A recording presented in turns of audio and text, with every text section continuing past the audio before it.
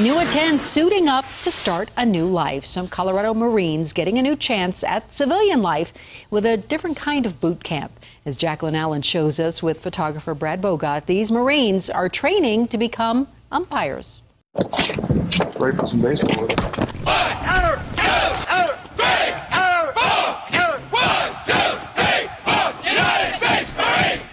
It's boot camp all over again. Two, two. But this time, the calls they make aren't life or death. Ball.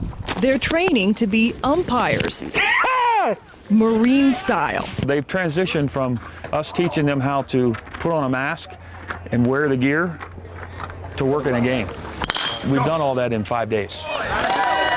These are wounded warriors. I was struck by IED in a Humvee, blown out of turret in a coma for two weeks, took some shots and shrapnel. Still on active duty, What's up, young man? but recovering from injuries. What's your name? Dustin, Dustin. nice Tony. to meet you. They will either go back to the front line or retire to civilian life, This is therapy. trying to find peace within themselves and skills to move forward. Something that they can do uh, after the Marine Corps uh, and get them back into the swing of civilian life. For some, These kids work hard.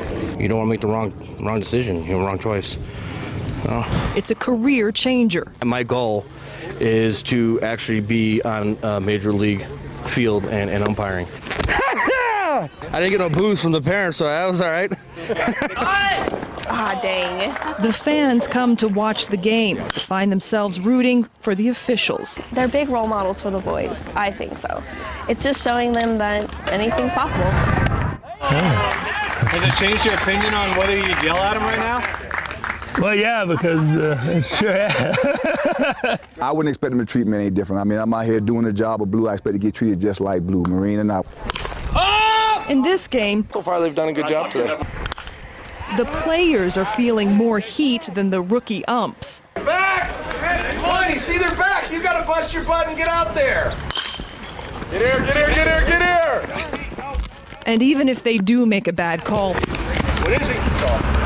He's out. Marine Tony Morrow puts complaints from the dugout in sobering perspective. If you make that boo boo on that strike call or that out call, the worst thing you have is a coach coming out and saying, hey, man, you got that one wrong.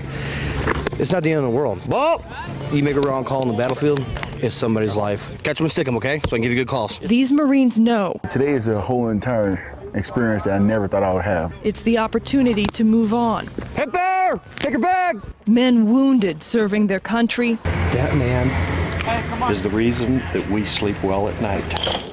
now healing with one final boot camp. But instead of life or death calls, the calls they make now Thank you. simply mean life.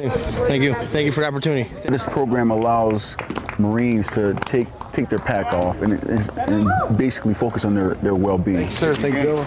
Jaclyn Allen, Appreciate it. 7 News.